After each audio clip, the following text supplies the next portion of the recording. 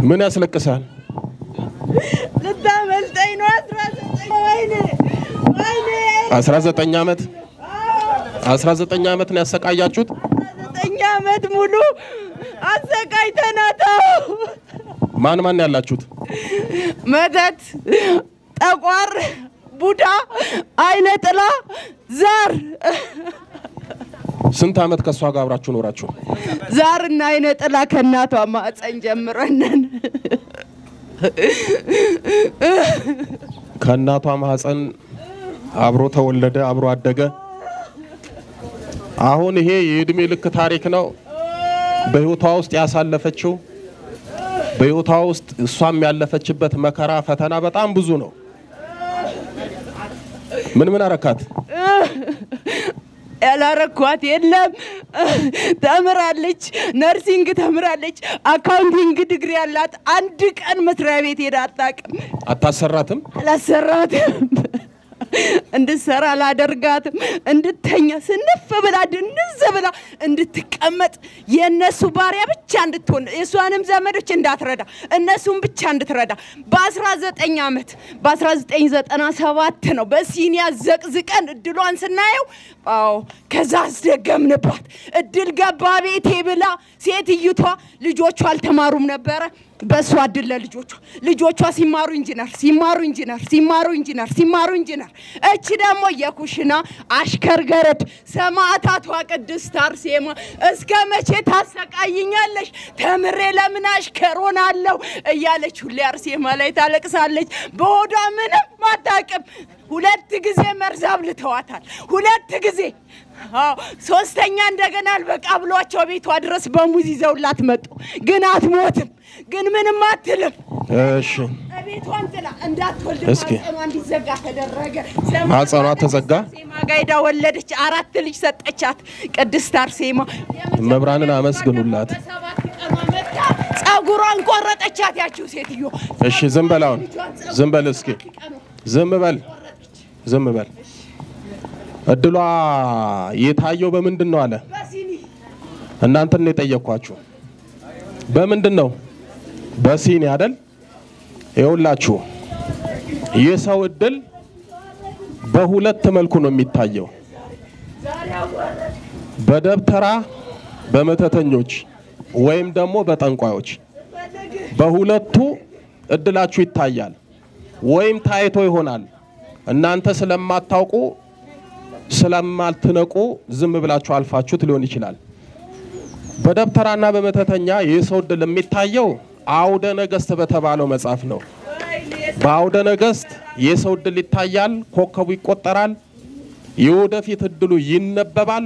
ከዛ በኋላ ይሄማ እሷማ ጥሩ እድል አላት፣ መልካም ህይወት ይገጥማታል፣ ወደፊት ጥሩ እድል አላት ተብሎ እድላችሁ ይወሰዳል፣ ለሌላ ሰው ይሆናል። ይሄ በደብተራና በመተተኞች የሚደረግ ነው። በጠንቋዮች የሚታይ ደግሞ እድል አለ። ያንን የጠንቋዮች እድል የሚያዩበትን ወይም የሚመለከቱበትን እናቶቻችን በልምድ ወስደውት ያንን ለምደውት ሲኒ እየዘቀዘቁ የሰው እድል ያሉ የሰው እድል ያነባሉ። በዚህ ደግሞ በጣም የተካኑ ሰዎች አሉ። በጣም የሚገርማችሁ ይሄ ጠቋር፣ አዳልሙት፣ ወሰንጋላ ወይም ጨሌ ያለባቸው ነገር ግን የጠንቋይ ስራ በግልጽ የማይሰሩ የቤት ውስጥ ግን የሰው እድል የሚያነቡ ሰዎች አሉ።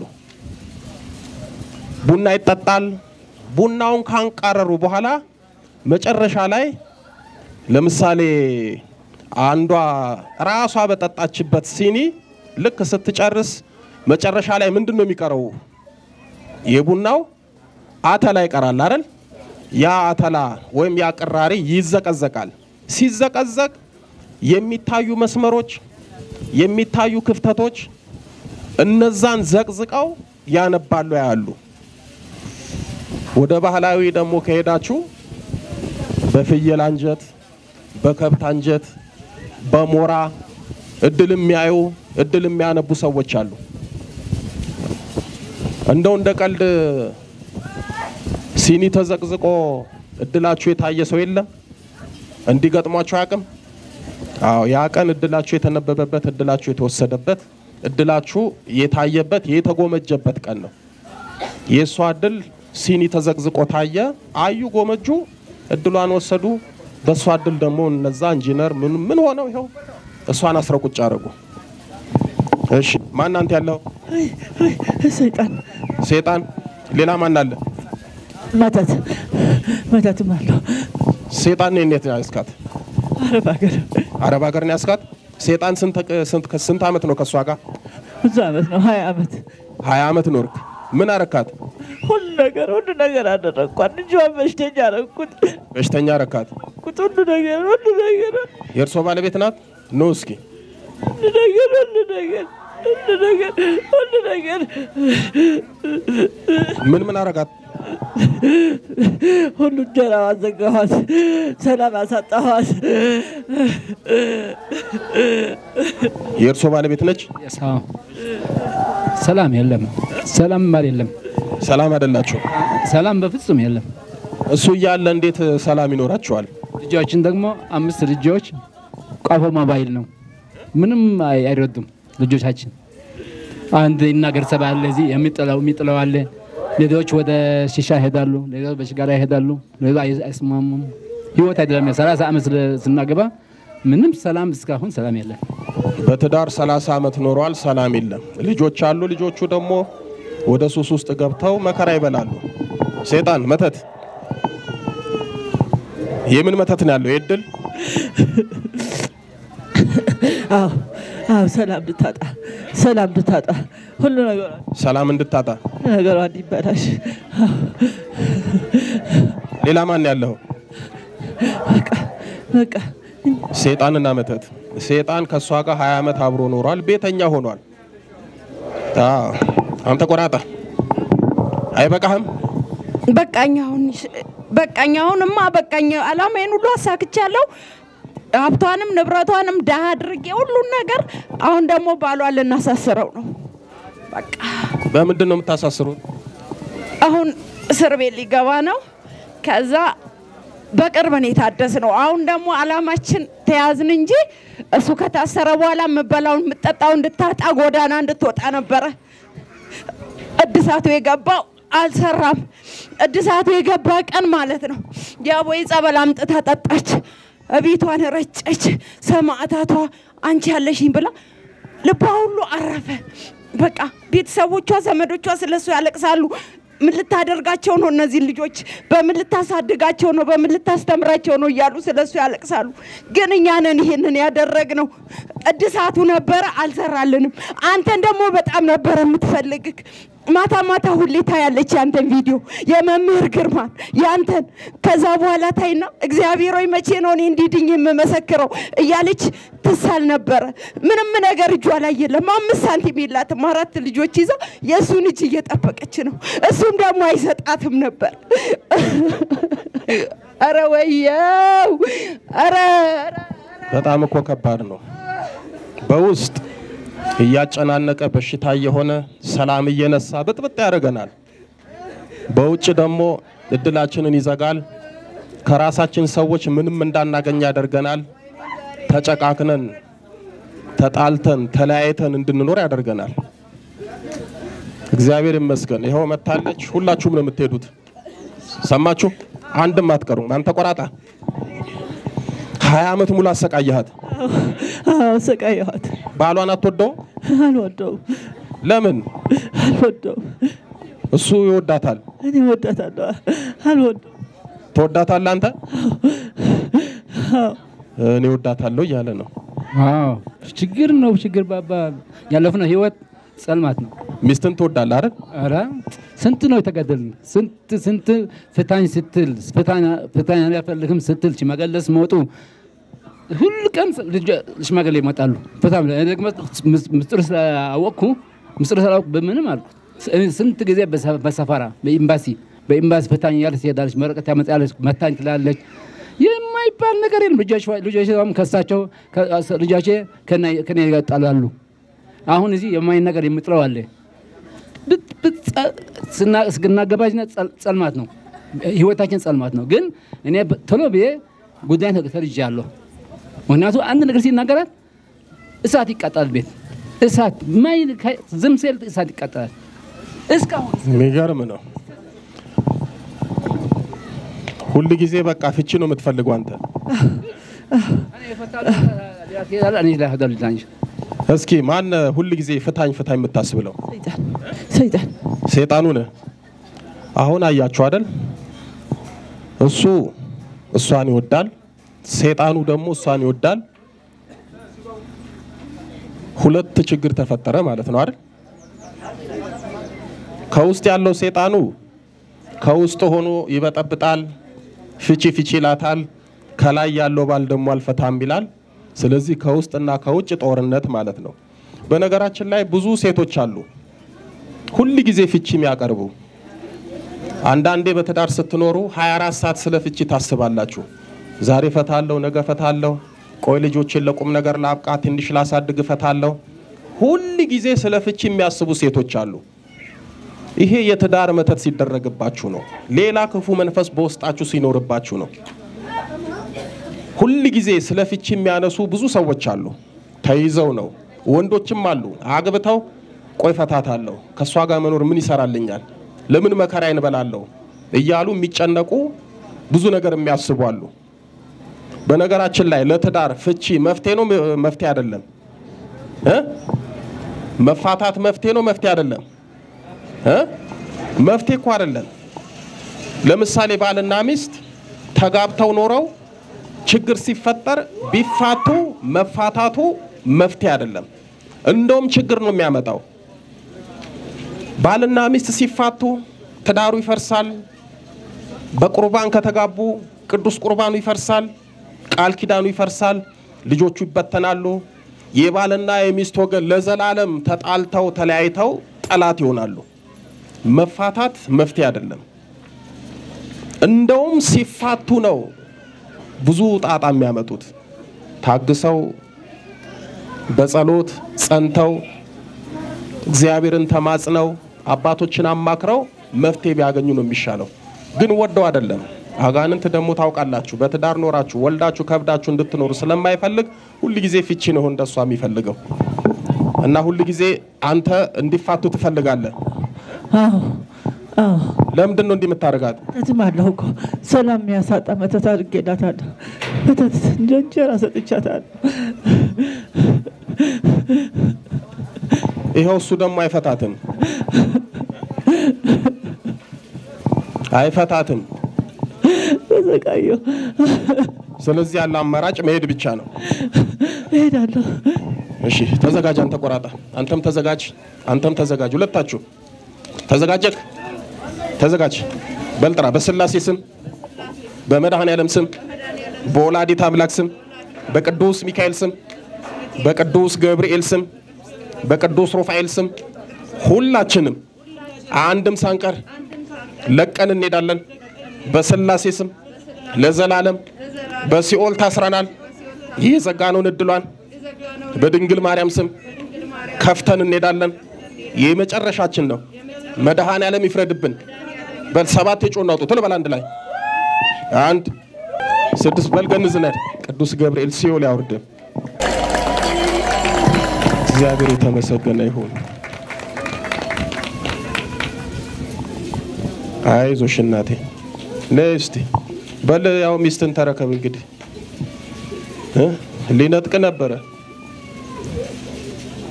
ይነጥቃል እኮ ይወስዳል አሁን ሚስቱ ማለት ከዚህ በኋላ ያለችው ናት። እስከ ዛሬ ደባል አለ አጅሬ አለ ሲጨቃጨቁ ሲበጣበጡ ሲናወጡን የኖሩት ፍቅር ሰላም የለም። እሱ ዞር ካለ በኋላ ነው ትክክለኛ ሚስቱን ማንነቷን የሚያገኛት ማለት ነው። ነይ እስቲ እናቴ እዛ ቆይ አትነሺ። ደህና ነሽ? እግዚአብሔር ይመስገን። ባለቤትሽን ትወጇለሽ? አዎ?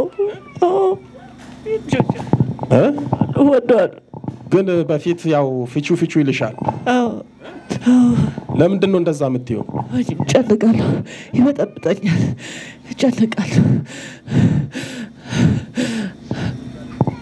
አየሽ ባልሽንም የሚያስጠላሽ የሚያጨቃጭቅሽ ፍቹ ፍቹ የሚያስብልሽ ለሀያ ዓመት አብሮሽ የኖረው ሴጣን በትዳርሽ ላይ የተደረገው መተት እሱ ነው። ባለቤትሽ ደግሞ አልፈታም ብሎ ሙጭጭ አለ አይደል? አዎ አዎ አንተ ጀግና ባል ነህ። ጀግና ስለአባቴ ያኔ ጉዳይ ተረዳሁ።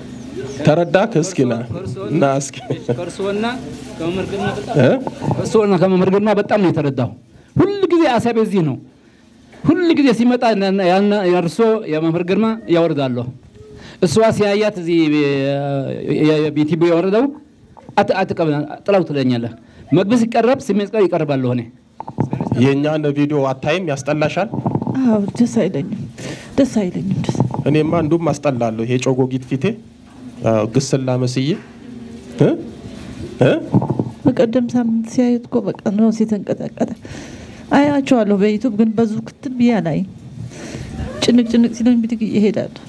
ታያለሽ፣ ጭንቅ ጭንቅ ሲልሽ ትተያለሽ። አዎ እንዲህ ነው ስራ። እሺ አሁን አባቴ ሁሉ ስለተረዳሁ እኔ ከዘጠኝ መቶ አስራ ሁለት ነው የመጣን እዚህ። እኔ ሃይማኖቱም ብዙ አያውቁም፣ ክርስቲያን ነው ብቻ ምንም የማያውቁም ስሩ መሰረቱ አያውቁም። ግን እዚህ ከተከተሉ በጣም አወቁ። ችግር በመጫ ደግሞ ስንት ቤት ሰዎች ይመጣሉ። ሰዎች መጥተው ስህተት ያደርጋሉ። ፍታት ሲሉ ምንም ስንት ሰው ነው የተጠላሁ። ፍታት ይላሉ። አሁላ ስህተት ሳይሆን ጭቅጭቅ ያግባባሉ። እዚህ ጭቅጭቅ ያግባሉ። እኔ ግን እምባልኩ ስንት ጊዜ ወረቀት ከኤምባሲው አምጣች መታኝ ስብል እኔ መታው ይቅረን በድለኝ ብላ ይወጣለሁ ከዚህ አልመታም ግን መታ አንተ አሁን አጅሬ እንደሆነ ስላወቅ ነው አልፈታም ያልካት። ይኸው ስለዚህ ይኸው እግዚአብሔር አዳምጠኝ። እግዚአብሔር ልፋትን ቆጠረ። ይኸው ረዳክ። ይኸው ሚስትን ገላገለልን። ከዚህ በኋላ እንግዲህ በፍቅር በሰላም ነው የምትኖሩት። መብራን የመጨረሻ ታርግላችሁ። መብራን አትለያችሁ። አይዟችሁ። እንዴት ነሽ አንቺ? ፈተና ያንቺ ደግሞ በጣም ቆለል ያለ ነው። በጣም ዘመዶቼ ራሱ ይህንን እንዴት ነው የምትችይው? እግዚአብሔር ላይችል አይሰጥም ነው የሚሉኝ። በጣም ነው የተፈተንኩት። አቤት እልል በሉልኝ እያለ ነው።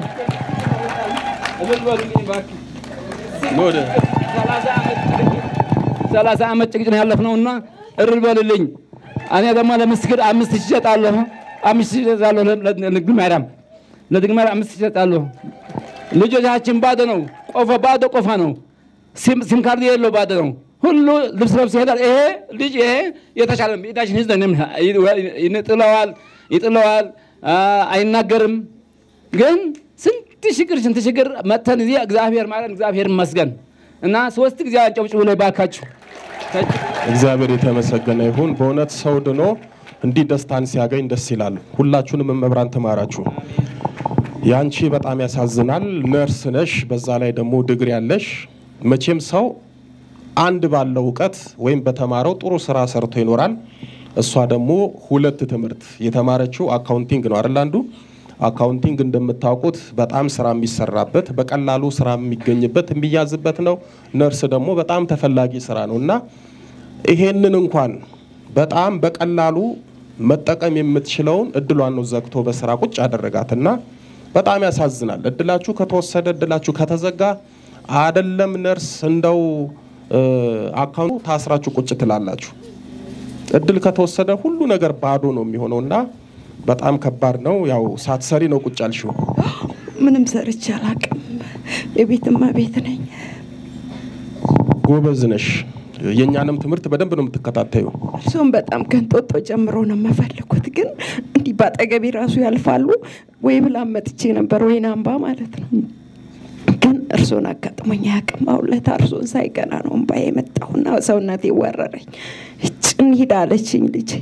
አይ እግዚአብሔር ያመጣን ምክንያት አለው፣ በቃ ወይም ባችን ሊታበስ ይሆናል አልኩኝ። ከዛ በኋላ በቃ እግዚአብሔር ይመስገን በነገራችን ላይ እኮ ያው የሚጠሉን እነሱ አይደሉም። ሰው ሰውን ይጠላል። ሰውን የሚጠላ ሰው እግዚአብሔርን ነው የሚጠላው። ሰውን መጥላት ኃጢአት ነው። ግን ሰውን እንድንጠላ የሚያደርገን ውስጣችን ያለው ክፉ መንፈስ ነው። በዚህ አጋጣሚ ከዚህ በፊትም አንድ የተናግሬዋለሁ። በጣም የሚገርማችሁ እዛ አሜሪካ ዳላስ ስቴት አገልግሎት ነበረኝና እንደናንተ እንደዚህ በጣም ብዙ ህዝብ ነበረ። በማጠምቅበት ሰዓት ገና እንደመጣች አይኗን አፈጠጠች፣ አጉረጠረጠች። በኋላ በስንት መከራ አስገባናት፣ ተጠመቀች። ለያዥ ለገናዥ አስቸገረች። በስንት መከራ wrestling ድብድብ በሉት በቃ መጠመቂያ ቤቱን በአንድ እግር አቆመች። የሚጠመቁት እንኳን ሊያግዙን አልቻሉም። በኋላ እግዚአብሔር ይመስገን ያው ተሸኘላት። በኋላ ስወጣ ጠበቀችኝና እንደው ቀሲስ አለችኝ፣ አቤት በዚህ ምድር እንደ እርሶ ምጠላው ሰው የለም አለችኝ። ምን ነው ምን አረኩሽ ስላት አላቅም ቪዲዮትና ገና ስሞት ሲነሳ እንደው ግፍ ግፍ ነው የሚለኝ ያስጠላኛል። እና እንዴት መጣሽ? ይሄ እስኪ እንደዚህ ምጠላው የሚያስጠላኝ ሰው እስኪ ምን አባቱ ያመጣል? እንደውም እንደውም ሄጄ ነው ደግሞ ያለውበት ስቴት ድረስ መጥቶልኝ ብዬ ነው የመጣሁት አለች። እግዚአብሔር ይመስገን አንቺ በክፋት መጣሽ፣ እግዚአብሔር ደግሞ በምሕረት መጣ። ስለዚህ ዳንሻ አይዞሽ አልኳት። አልቅሳ አልቅሳ ያው አንዳንድ ነገር ማድረግ ያለባትን ነገር ነገርኳት። ጥሩ መንፈሳዊ ሆነች። አንዳንዴ ውስጣችን ክፉ መንፈስ ካለ በእውነት እናት እኮ ልጇን ትጠላለች። የኛ ቀላል ነው። ለምሳሌ እኔን የሚጠሉኝ ሰዎች አያውቁኝም። ይሄ መከራኛ ቪዲዮ ነው የሚያዩት፣ ወይ ትምህርታችንን ነው የሚሰሙት፣ ወይ ደግሞ እንደዚህ የዳኑትን ሰዎች ነው የሚያዩት። አንድ ቀን አናግሮኝ የማያውቅ ሰው ሊጠላኝ ይችላል። አልፈርድም። የወለደች እናት ልጇን ትጠላለች። አባት እኮ ልጁን ዓይንህን ላፈር ይላል። ይሄ የሚሆነው ውስጣቸው ያለው ክፉ መንፈስ ነው፣ እነሱ አይደሉም። እግዚአብሔር ይማረን። አይዞሽ እመብራን ከአንቺ ጋር ትሁን። ጎበዝ ነሽ፣ ትምህርቱን ተምረሽ ይኸው እድሉንም አግኝተሽ እመብራን ምራሻለች። የመጨረሻ ታርግልሽ። እመብራንን አመስግኑላት።